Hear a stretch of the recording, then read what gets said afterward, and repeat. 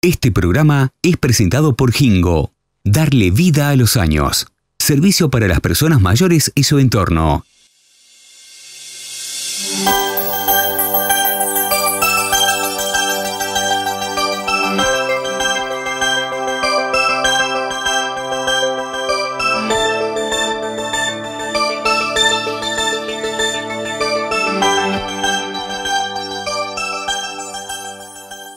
Bienvenidos, hablemos de salud, feliz 2023. Realmente es un placer estar un año más compartiendo con ustedes a través de la pantalla de su canal. Soy el doctor Leonardo Sande, asesor médico de este programa, y voy a tener el gusto y el placer de conducir los dos primeros programas del año, dado que nuestra querida conductora Ana María se encuentra disfrutando de sus merecidas vacaciones. Y vamos a dar inicio al programa de hoy respondiendo a sus interrogantes. Nos llegó a la producción preguntas sobre la actividad física, cuál es la importancia, cuáles son sus beneficios, ¿Se puede realizar actividad física con cualquier formato de cuerpo? Lo primero que quiero mencionar con respecto a este tema es que cualquier persona puede realizar actividad física. No importa el peso y no importa la edad, se puede realizar actividad física con más de 100 kilos, menos de 100 kilos, no importa. Lo importante y claramente es que la actividad física esté adecuada a las características físicas de cada persona. Los beneficios de la actividad física son múltiples, a nivel cardiovascular, cerebral, de la autoestima, a nivel respiratorio. Pero voy a mencionar algunos beneficios que tienen que ver con la reducción del peso y con mantener un peso saludable. Cuando una persona quiere mantener un peso saludable o descender de peso, tiene dos grandes opciones o estrategias, o reducir calorías y carbohidratos gastar más energía. Si una persona no realiza actividad física, básicamente está utilizando la mitad de sus posibilidades para descender de peso y para tener un peso saludable. Además, la actividad física tiene un beneficio esencial que es aumentar el metabolismo basal. El metabolismo basal es esa cantidad de energía que gastamos por estar vivos sin otra actividad física extra. Las personas que son más delgadas o las otras que tienen mayor predisposición a aumentar de peso, básicamente es por la velocidad de su metabolismo basal. Y la actividad física tiene esta propiedad, aumentar el metabolismo basal y de esta forma es muy protectiva para el peso. Pero uno de los beneficios fundamentales que tiene la actividad física es que reencuentra a las personas con su cuerpo y acepta a las personas en el formato de cuerpo que tienen. A veces las personas con sobrepeso u obesidad tienen tendencia a evitar eh, actividades donde hay conciencia plena del cuerpo. Y la actividad física los reencuentra. Siempre recuerden que uno puede modificar su cuerpo, mejorarlo y cuidarlo, pero siempre desde el cariño.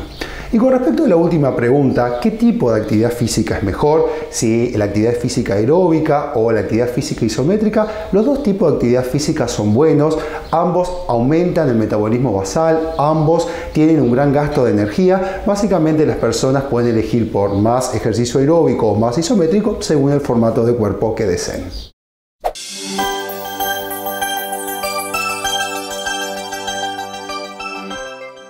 Hoy les quiero hablar de las situaciones de emergencia, pero miradas desde el lugar del espectador. Vamos a llamar individuo afectado al paciente y espectador aquel participante que presencia la situación de emergencia y que de alguna manera va a tener el deber de colaborar aún sin conocer la mejor manera de ayudar.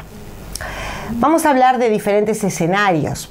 El primero que nos convoca es el escenario de la calle, lo que llamamos vía pública. Cuando sucede un evento crítico, yo formo parte de como espectador y me veo obligada a actuar. ¿Obligado por qué? Porque hay una responsabilidad de actuar. Hay una responsabilidad de alguna manera asistir y en ese caso el primero que llega al lugar sea que tiene que hacer un procedimiento de reanimación o no, va a ser quien va a ordenar la situación, va a gestionar la emergencia, va a indicar quién llama por teléfono, va a escuchar o a preguntar qué es lo que el operador telefónico o el médico desde el otro lado me está diciendo y va a facilitar el acceso de la ambulancia al lugar del evento. En esta situación, más allá de que haya una conmoción por lo que estamos viviendo, porque nos impacta ver una situación crítica en la calle, no tenemos un contacto, un vínculo afectivo con la víctima, por lo tanto como espectadores yo puedo ser quien ordena, quien lidera la asistencia hasta que llegue la ambulancia. Una vez que la ambulancia se hace presente en el lugar, obviamente esto queda en manos de los técnicos que van a tener las herramientas, no solamente médicas y de enfermería para asistir, sino además aquellos aspectos de contención emocional que la situación requiera.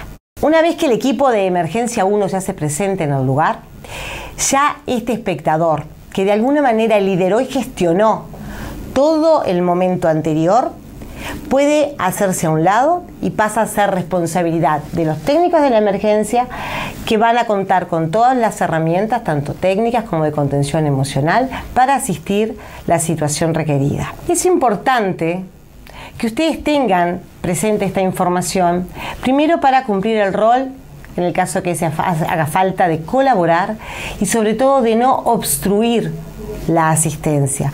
Me refiero a no obstruir la llegada del móvil o la salida una vez que haya que trasladar al paciente.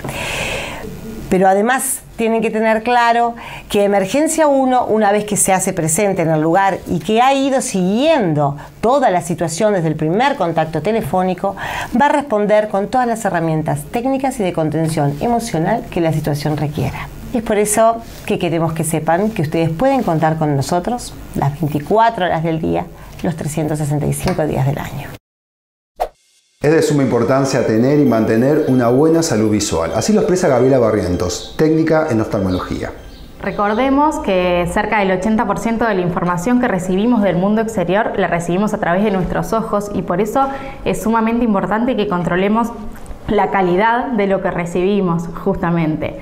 Nosotros a lo largo de nuestra vida vamos teniendo distintos requerimientos, digamos que cuando estamos en la etapa escolar, eh, nosotros todo lo que integramos de ese mundo y cómo nos relacionamos con él es sumamente importante para fijar nuestros primeros aprendizajes.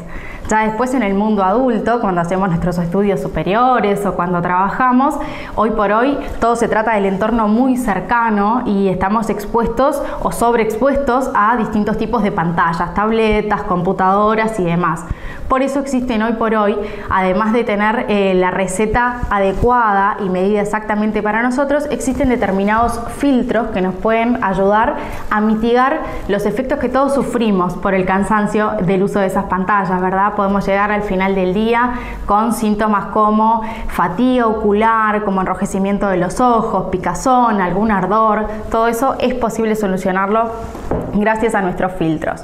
Además, durante la etapa adultos y adultos mayores existen otras patologías que el médico oftalmólogo puede detectar y una vez que esas están detectadas también podemos cuidarnos, por ejemplo, eh, protegiéndonos del filtro UV con filtros eh, fotocromáticos, con filtros sensibles a la luz que nos ayuden a que, bueno, en la cantidad de UV que nos ingrese al ojo sea menor y por lo tanto estemos más cuidados durante todo el tiempo.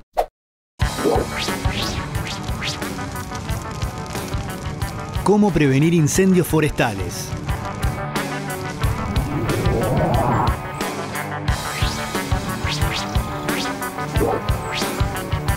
Infórmate sobre pronósticos, índices de riesgo de incendio y advertencias de las autoridades. Enciende fogones solo en lugares permitidos como parrilleros o barbacoas y mantén el fuego controlado. No permitas que niñas y niños jueguen en sus cercanías. Si tienes jardín, manténlo limpio con el césped corto. Si hay árboles, poda las ramas inferiores hasta una altura de 2 metros. Mantén siempre un recipiente con agua cerca del fuego. Al retirarte, asegúrate de que el fuego haya quedado totalmente extinguido. Cuando circules en vehículos, lleva un extintor a polvo químico. Evita transportar recipientes con productos inflamables. No arrojes colillas de cigarros encendidas. Evita circular sobre terrenos con vegetación, ya que el humo del vehículo podría generar un incendio. Si vas a hacer una fogata en el suelo, limpia previamente el lugar donde se encenderá el fuego por lo menos a 5 metros a la redonda. Rodea el fuego con piedras, ladrillos u objetos similares. No hagas grandes fogatas y no dejes de vigilar el fuego. Remueve los restos de leña y cenizas para verificar que esté totalmente extinguido antes de retirarte del lugar. Presentó Casmo. Elegí lo mejor para vos y los tuyos. Casmo, estamos para cuidarte. En Círculo Láser creemos que la tecnología se debe al bienestar de las personas. Por eso, hace más de 29 años que brindamos la mejor atención basada en los pilares de la excelencia y la calidad.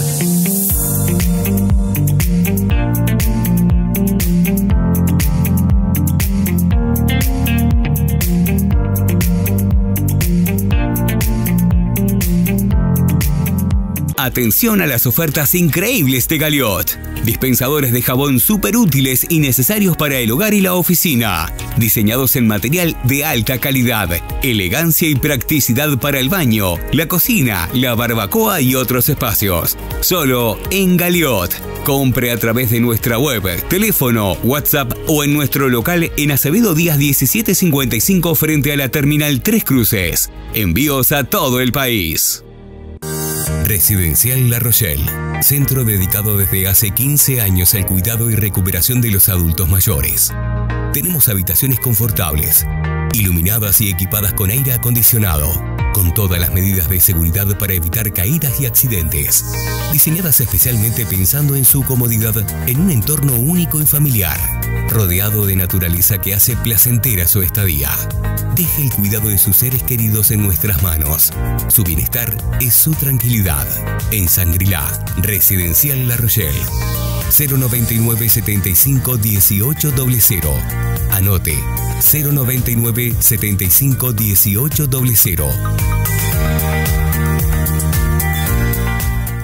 Somos Emergencia 1. Cumplimos 20 años y lo festejamos con planes mucho más económicos con la calidad de siempre. Brindamos atención en emergencias y urgencias, atención en policlínicas y consultas telefónicas las 24 horas. Y si tu mutualista es médica uruguaya, podés acceder a nuestro nuevo plan especial 20 años, a partir de 350 pesos al mes. Contamos con cobertura en el interior del país, carnet de salud y seguro de viaje internacional. Afíliate el 08 883 36. Contá con nosotros.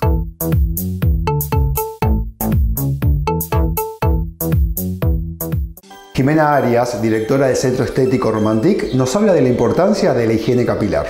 La higiene capilar es muy importante para la salud de nuestro cuero cabelludo y nuestro cabello. Dejemos de lado las modas que se han impuesto hoy en día de pasar una semana o más días sin lavar nuestro cabello. Eso no corre. Eso genera inflamaciones, irritaciones, ya que en nuestro cuero cabelludo tenemos ácaros que conviven día a día con nosotros y cuando pasamos mucho tiempo sin higienizarnos empiezan a proliferar de una manera que no es buena. Pueden generar dermatitis, em, inflamaciones, enfermedades que pueden producir hasta la caída de nuestro cabello. Entonces, Dejemos eso de lado y comencemos a lavar nuestro cabello según nuestras necesidades. Lavemos el cabello día por medio, cada dos días, cada tres días. Lo correcto es ir al estilista y que éste realice un diagnóstico de acuerdo a nuestras necesidades para el cuero cabelludo y la parte del largo del cabello. Hoy en día contamos con una amplia variedad de productos para poder saciar sus necesidades en casa. Lo ideal es que el estilista realice el diagnóstico correcto para ver cuáles son sus necesidades y así vamos a lograr una mejor salud del cuero cabelludo, vamos a tener un pelo más sano, más suave, más brillante, no le vamos a generar ningún tipo de daño por lavarlo con más frecuencia, así que recuerde, es muy importante hacer el diagnóstico para saber qué necesita para su cuero cabelludo y cabello. Estamos a las órdenes, como siempre, para cualquier tipo de duda, consulta y realizar su diagnóstico. Hemos recibido varias consultas sobre las causas y cómo se trata el aumento de la glándula mamaria en el hombre. Sobre este tema nos habla nuestra asesora, la doctora Gabriela Novelo. Habitualmente el paciente consulta por un aumento del volumen a nivel de la región pectoral. ¿Sí? ¿Qué es la ginecomastia? Es el aumento del tejido glandular mamario en el hombre. O sea, el hombre tiene una glándula mamaria aumentada de tamaño, hipertrofiada. ¿sí? Que habitualmente lo normal es que esta glándula esté atrofiada. Así que, ¿cómo es la manifestación clínica del paciente? Muchas veces el paciente viene por un tema emocional, ¿sí? porque tiene un impacto emocional importante, que esta zona esté aumentada, donde se manifiesta a través de la ropa, las personas habitualmente se cohiben en la playa o al sacarse la remera. Y otro de los motivos frecuentes es que le genera dolor en la región mamaria. Cuando nos enfrentamos a este paciente, lo primero que tenemos que hacer es valorar si esta patología de ginecomastia es algo fisiológico, es por un proceso puberal o si tiene una patología de base que genera un aumento de la glándula mamaria en el hombre. ¿Cuáles son estas patologías? Bueno, uno de ellos, que es la primera a descartar, es el tumor de mama en el hombre, que también se, da. Otro es el síndrome de Klinefelter, que es una patología genética. Otra de las causas son farmacológicas, como drogas, como es la marihuana. Hay otros fármacos que también generan un aumento de la glándula y patologías autoinmunes que también puede generar esta patología en sí misma. Habitualmente la ginecomastia fisiológica, que es transitoria, es bilateral y que se puede realizar un tratamiento quirúrgico una vez que se descartan las patologías previas. Una vez que descartamos una patología de base y que tenemos el diagnóstico de ginecomastia funcional, lo que debemos es evaluar el grado del volumen de esta zona y en base a eso eh, optar por la mejor técnica quirúrgica de mastectomía. Así que el tratamiento es personalizado según el grado de ginecomastia del paciente y de eh, optimizar y mejorar esta zona, ¿sí? para tanto sacar el tejido glandular como excedente de piel en caso necesario. Así que a modo de conclusión, es fundamental que el paciente consulte si presenta dolor en esta zona, si presenta una tumoración como una pastilla retroareolar, así como también saber que tiene una resolución quirúrgica en los pacientes que tienen un impacto emocional importante por tener un aumento de volumen en esta zona.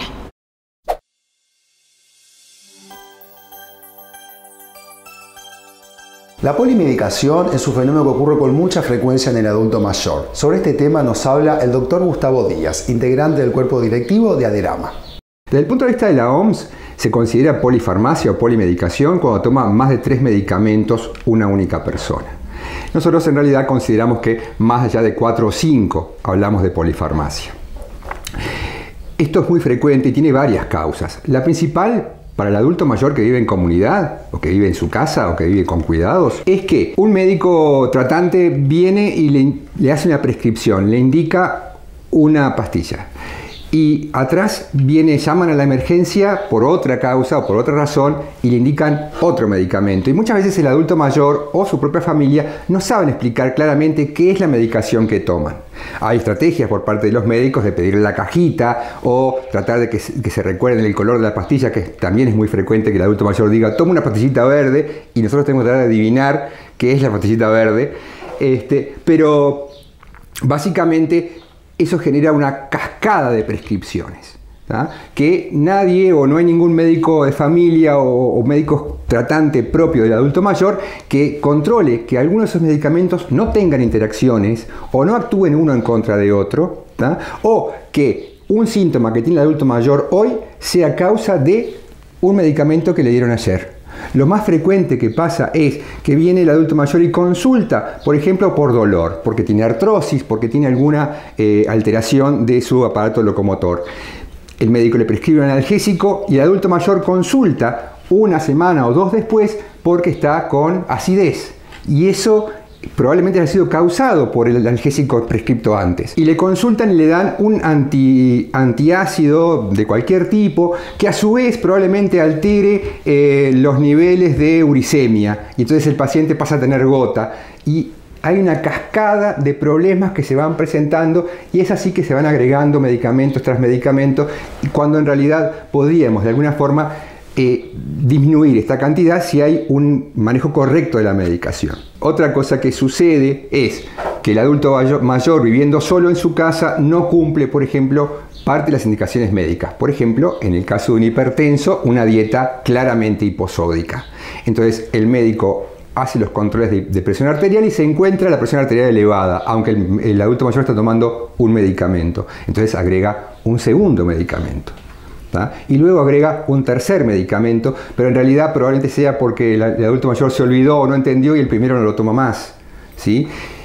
Estas cosas que suceden en la comunidad, que son problemas diarios de un adulto mayor viviendo solo en su casa o con familiares que tienen poca eh, conocimientos a veces de, las prescripciones, eh, se solucionan realmente, por ejemplo, en un, residencial.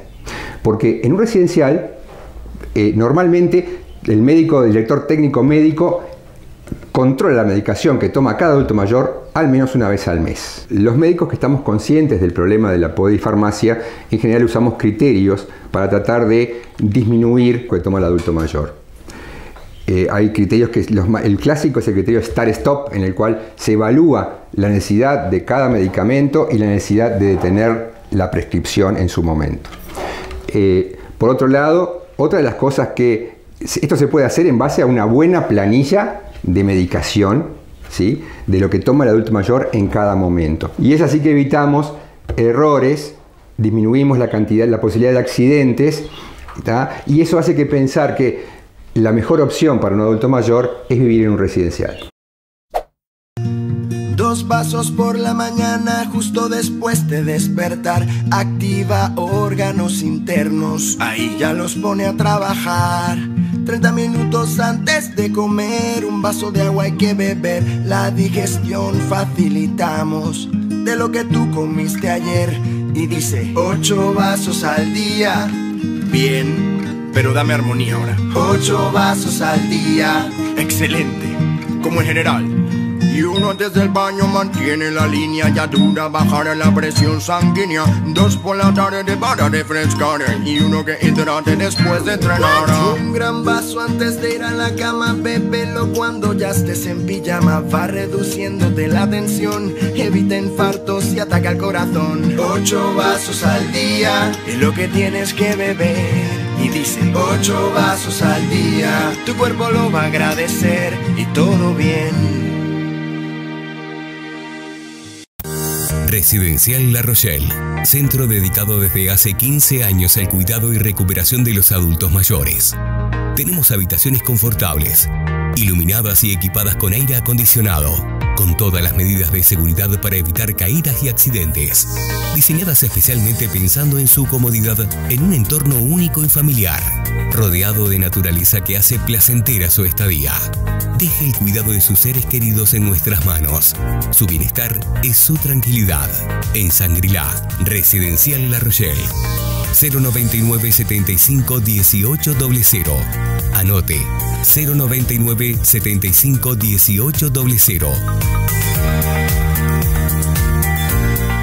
Atención a las ofertas increíbles de Galiot. Lámpara atrapa mosquitos USB la luz ultravioleta de 360 grados atrae los mosquitos circundantes para luego ser aspirados por un potente ventilador turbo integrado. Tiene una bandeja recolectora de insectos de muy fácil limpieza. Solo en Galiot. Compre a través de nuestra web, teléfono, WhatsApp o en nuestro local en Acevedo Díaz 1755 frente a la Terminal Tres Cruces. Envíos a todo el país. Somos Emergencia 1. Cumplimos 20 años y lo festejamos con planes mucho más económicos con la calidad de siempre. Brindamos atención en emergencias y urgencias, atención en policlínicas y consultas telefónicas las 24 horas. Y si tu mutualista es médica uruguaya, podés acceder a nuestro nuevo plan especial 20 años, a partir de 350 pesos al mes. Contamos con cobertura en el interior del país, carnet de salud y seguro de viaje internacional. Afíliate el 0 883 36. Contá con nosotros.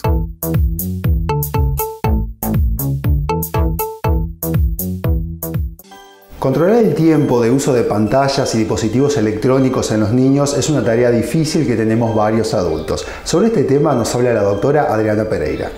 La primera infancia es un, un, tiempo muy importante para el desarrollo cognitivo, emocional, psíquico y social se ha demostrado asociación entre el inicio de uso de los aparatos electrónicos y el mayor tiempo dedicado a ellos con riesgos en retraso de habilidades del desarrollo, tales como lenguaje, habilidades emocionales, sociales e incluso habilidades motoras. Esto probablemente se vea relacionado a que cuando los niños están frente a las pantallas pierden oportunidades para realizar otras prácticas, favoreciendo habilidades de eh, lenguaje, comunicación, tiempo menor dedicado a otras actividades de interrelación, leer cuentos, contar historias. Se mueven menos, lo que esto favorece al sedentarismo y la obesidad. Presentan mayor riesgo de desatención e hiperactividad, entonces eh, dificulta el proceso de aprendizaje. El sueño es muy importante también y se puede ver afectado por el uso de pantallas. El usar pantallas antes de dormir hace que retrase el inicio del sueño. Los niños duermen menos horas de la noche y esto puede generar compromisos en el comportamiento y en el rendimiento escolar. Es por todo esto que se eh, recomienda que los niños menores a 18 meses no estén expuestos en las pantallas, salvo que éstas sean videollamadas. Que los niños entre 2 años y 5 años se limite su uso a una o dos horas diarias que el contenido sea de alta calidad, que estén acompañados de sus padres, que puedan reenseñarles el contenido para ser usados en la vida cotidiana. Se desaconsejan las pantallas en el dormitorio y no usarlas una hora antes de dormir. Evitar la utilización de aparatos electrónicos como único medio para calmar a los niños. Los padres debemos ser mediadores entre los aparatos electrónicos y nuestros hijos, de modo de que estos sean una herramienta útil en la creación, comunicación y aprendizaje. También debemos buscar otras alternativas de desenchufe en nuestro hogar para poder favorecer otras actividades recreativas que sean beneficiosas para la salud y el desarrollo. En esta oportunidad, desde el residencial Vilmore, Verónica Colman nos explica cómo se trabaja en este residencial. Además, tenemos el testimonio de Javier, uno de sus residentes, y su hermano José. Trabajo muy cómoda, es muy agradable trabajar con los abuelos, em, porque aparte de trabajar con ellos, eh, compartimos muchas cosas también con ellos acá adentro y ponemos nuestro granito, así como se pone en la cocina, que es nuestro granito de amor, de alegría, porque compartimos mucho más tiempo con ellos que en nuestras propias casas. Yo tengo kiosco que, tengo cosas para vender por todos los precios y saludo para todos de Raúl, de Miriam, de la Laura, mi sobrina, de toda la familia. Realmente esta institución nos ha amparado de una forma excepcional. Digo. Y realmente nosotros, los hermanos de Javier, estamos muy conformes con la, con la atención, como ya lo dije anteriormente, este, y que, se pueda, que puedan venir a, a conocerlos este, y realmente van a encontrarse con un lugar, un residencial excepcional. Nuestra asesora en odontología, la doctora Laura Sánchez, en el programa de hoy nos habla sobre el sangrado de las encías. El sangrado de encías es algo muy frecuente, más de lo que todos podemos pensar y sobre todo en las consultas odontológicas. Lo que sí es importante saber que si a un paciente le sangran las encías, eso no es normal, ¿sí? Hay que consultar porque hay una enfermedad de base y muchas veces es una enfermedad muy silenciosa porque el paciente no tiene dolor. Puede ser un sangrado que se genera cuando se cepilla por un estímulo mecánico y a veces en casos más agudos simplemente cuando el paciente habla y modula con la musculatura también genera un sangrado. ¿Por qué? Porque la encía está inflamada, los capilares que son como unos tubitos están muy delgados y ante cualquier estímulo va a hacer que sangre. Lo importante es que en periodos de un sangrado, de una enfermedad como una gingivitis, es un cuadro totalmente reversible porque el paciente elimina la placa, elimina el sarro, las encías vuelven a estar en un color y una una situación de normalidad, entonces se termina automáticamente el sangrado. Por otro lado, tenemos estados más agudos como una enfermedad periodontal, que ahí ya se está afectando el hueso, que ya son irreversibles, pero que también tienen un tratamiento para ponerle un freno a la enfermedad y que no siga avanzando. Es importante mantener una higiene, mantener una regularidad y sobre todo consultar porque estas enfermedades que son silenciosas pueden estar generando eh, a nivel del ligamento o de estructuras que el paciente no tiene acceso a higienizarse, patologías más perjudiciales y empezar a perder el soporte y que los dientitos empiecen a tener movilidad en boca y perder la inserción. Por eso le sugerimos que ante cualquier sangrado o algún cambio en la posición de sus piezas dentales o contactos que antes no tenía y ahora siente que al morder sí están presentes, consulte para prevenir algún tipo de patología mayor. Hoy está con nosotros el doctor Luis Ubillos, asesor de este programa y vicepresidente del Instituto Nacional del Cáncer, que nos brindas estas recomendaciones para cuidar nuestra salud en esta época del año. Bienvenidos al 2023, en este primer programa del año. Este es un momento muy oportuno ya que muchos ya están de vacaciones y otros estarán entrando en sus vacaciones, merecidas vacaciones, para recordarles y hablar de un tema muy importante, que es el cuidado de la piel. A nivel cutáneo y a nivel oncológico tenemos que hablar de lo que es el melanoma. Si bien estamos en un momento en el que los tratamientos a nivel oncológico para el melanoma han crecido de forma exponencial y los resultados son realmente revolucionarios, logrando verdaderas cronificaciones de la enfermedad y con resultados a nivel de sobrevida que eran imaginables hace 5 años, debemos recordar que lo más importante sigue siendo al día de hoy la prevención. Y para eso tenemos cosas que podemos hacer. Parece un poco aburrido ir a la playa con eh, ropa con protección solar, pero es una recomendación muy importante. Podemos ir a la playa tranquilamente, el sol es bueno, pero tenemos que recordar que lo que no es bueno son las quemaduras solares.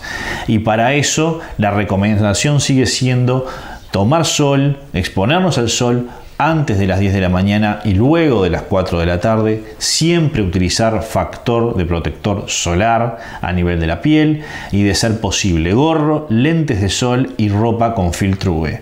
Esto es un elemento muy importante para poder minimizar los riesgos de desarrollo de un melanoma. Y esto es especialmente importante en el cuidado de los niños. Está claramente demostrado que las quemaduras en etapas iniciales de la vida en niños y adolescentes son las que muchas veces nos condicionan en el futuro a generar un melanoma. Es por eso que todas las edades, pero los niños necesitamos cuidarlos con mucho criterio y para eso siempre tomar sobre las horas permitidas, estar bajo la sombrilla, tener protector solar y ropa adecuada, gorro y lentes de sol. Tampoco podemos dejar de mencionar las personas mayores que ya tienen en muchos casos daño solar. A veces no estamos hablando de melanoma, sino de otros tumores también vinculados al daño solar crónico, como son los carcinomas vasocelulares y los epidermoides. Y estas personas también debemos hacer hincapié en el cuidado de la piel y en el cuidado y la prevención del desarrollo de tumores en lo que tiene que ver con la exposición solar.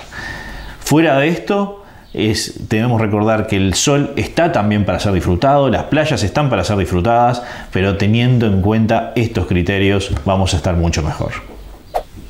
Y hemos llegado al final de este programa. Como siempre les digo, muchas gracias por dejarnos de entrar en sus hogares. Espero que nuestros consejos hayan sido de utilidad. Y los esperamos la próxima semana aquí en Hablemos de Salud.